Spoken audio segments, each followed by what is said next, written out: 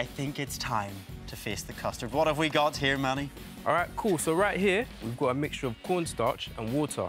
Now this here is hmm. called a non-Newtonian fluid. Okay. Now the reason why it's called that is because it can behave as both a liquid and a solid. So if I just pick some up like this, Yeah. you can see that it just drops out like a liquid. Yeah. But if I, hit have it like go? this, yeah, man, have a go. Oh, I really. But you Thank see, you for explaining the science. Oh, when yeah. you punch it, it's solid. Wait, can, can I slap it? Slap it, man. And it's going to be solid. Yeah, it will But stay it's- solid. It's, liquid, it's liquid. Yeah. What? And then it just drips off your hand. It's really hard to pick up. It really is solid. That's. It's crazy, man. Oh.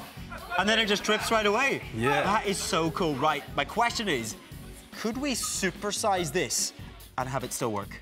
Definitely, man, we can. So, for example, if we were to have, you know, a pool of custard, Yeah, that would work. theoretically, yes, it should work. Do you think we should give it a go? Yeah! All right, let's give it a go.